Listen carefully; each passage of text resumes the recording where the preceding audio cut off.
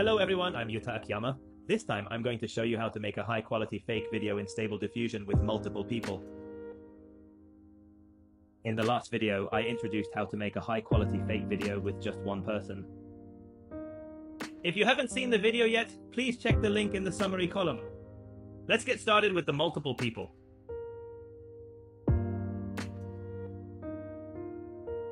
Please start the Stable Diffusion web UI. Move to Move and Reactor are already installed. In the previous video, I introduced how to download and expand Move to Move and Reactor. Please refer to the previous video from the link in the summary column.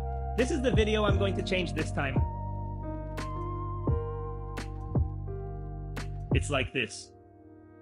I'm going to change the face of the video where these two women are dancing to AI vision.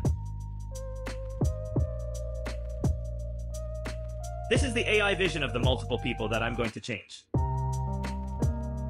Let's get started. Before you start making a video with Move to Move, I'm going to check if I can change the faces of the multiple people with image to image. The first thing I want you to do is to split the video into frames with this appropriate tool. The tool I'm going to use this time is a free tool called M Converter, which can split the video into frames online. Please upload a dance video here.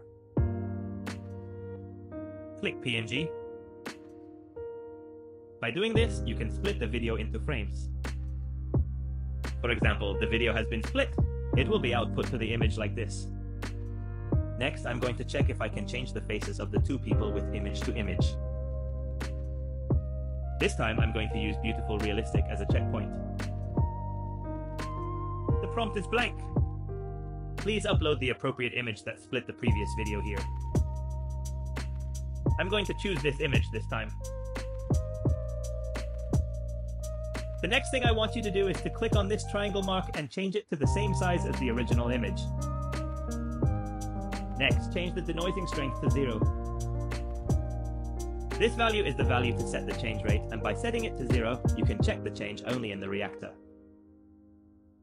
Next, click on the reactor tab. First, click Enable here. Next, upload the AI Vision image to this single source image. Here it is. If you click Save Original, you can save the image of the face before changing the face in the reactor. I'm going to check this time. Next, I'm going to set up the source image.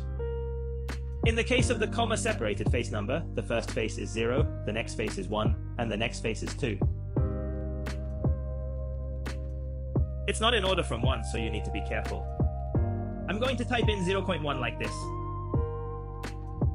You need to be careful not to make any extra blank spaces between these commas. In this case, 0 is the woman on the left and 1 is the woman on the right. Next, I'm going to set up the target image, which is also in the order of 0.1.2 from the left, so I'm going to change it to 0.1. This is 0, and this woman on the right is 1. If you want to change this left face to the right one, change this value to 1 thou and adjust it. Next, I'm going to check the CodeFormer that adjusts the blurry part after changing the face. I want to make the CodeFormer weight stronger, so I'm going to set it to 0. Click Generate with this. Now the processing is complete. This is the original image, and this is the image after the change. You've got a good face, haven't you? Now that I've got a good face, I'm going to run the move to move in this setting. Next, move to the tab of Move to Move. Enter the same parameter and upload the video. Upload dance video. Please note that this is a video. This is also blank. Click Resize Triangle. Adjust denoising strength to zero. Please uncheck this movie editor. Next, click the tab of Reactor and enable. Upload the AI visual as before. Enter 0.1 and 0.1 here as well. Change it to 0 with the CodeFormer. Now that the settings are complete, click Generate in the same way. Let's wait for the processing results for a while. This is the video output after the processing is completed. Here it is. There's a little bit of flicker in the face. If the distance between the face and the camera is a little further away, I think you can make a more natural video like the previous video. You can also use this method to create a beautiful walk, which is a hot topic right now. By the way, at the end of this video, click the SD Stable Diffusion Web UI in the SD folder. It's in the Outputs folder. Click Move to move videos in this. You can download the MP4 file like this. How was today's video? If you use the Reactor Web UI, you can freely specify the face and exchange the face. If you find this video useful, please give us a high rating and subscribe to our channel. If you have any questions or comments, please feel free to leave them in the comments section. See you in the next video.